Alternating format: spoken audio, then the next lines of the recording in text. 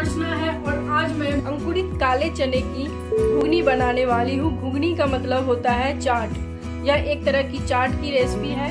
मैंने पहले भी एक चाट की रेसिपी बनाया हुआ है। आपके लिए यह दूसरी रेसिपी है और दूसरे तरीके से बना रहे हूँ। तो नोट कर ले इसके इंग्रेडिएंट्स यहाँ मैंने 100 ग्राम करीब अंकुरित चना ले लिया है 50 ग्राम प्याज काट लिया बारीक, हरी मिर्च। इतने से सामग्री में दो लोगों के लिए चाट बन जाएगा। एक टमाटर, एक चौथाई चम्मच चना मसाला, एक चौथाई चम्मच धनिया पाउडर, एक चौथाई चम्मच लाल मिर्च पाउडर और एक चौथाई चम्मच हल्दी पाउडर। एक चुटकी करीब गरम मसाला ले लिया है। चार से पाँच चम्मच सरसों का तेल लेंगे।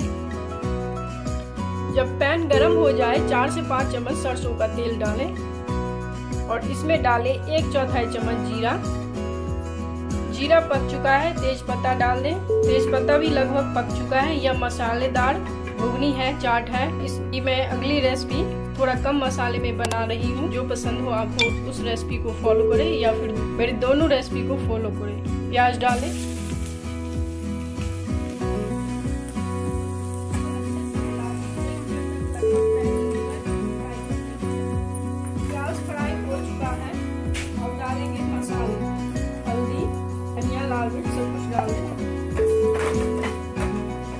टमाटर और थोड़ा सा नमक नमक केवल मसाला के लिए ही डालेंगे। मसाला फ्राई हो चुका है, अब ये चना डाल दें। थोड़ा नमक और डाल दें। चना के हिसाब से नमक डालेंगे। अब इसको अच्छे से मिला कर एक चौथाई कप पानी डालेंगे।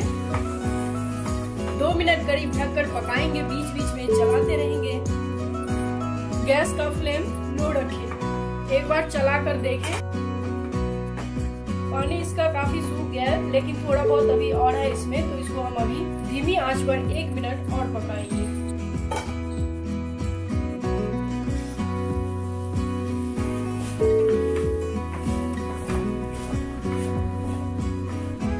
इसके सारे पानी सूख चुके हैं, इसमें से तेल भी छूटने लगा है। यह घुगनी अब तैयार हो चुका है, चाट तैयार हो चुका है। अब हम इसको गैस ऑफ़ करेंगे और हरा धनिया, हरी मिर्च, नींबू के साथ सर्व करेंगे गार्निश करेंगे। इसी तरह से मेरे सारे वीडियोस देखते रहिए लाइक सब्सक्राइब एंड शेयर करते रहिए। Thank you so much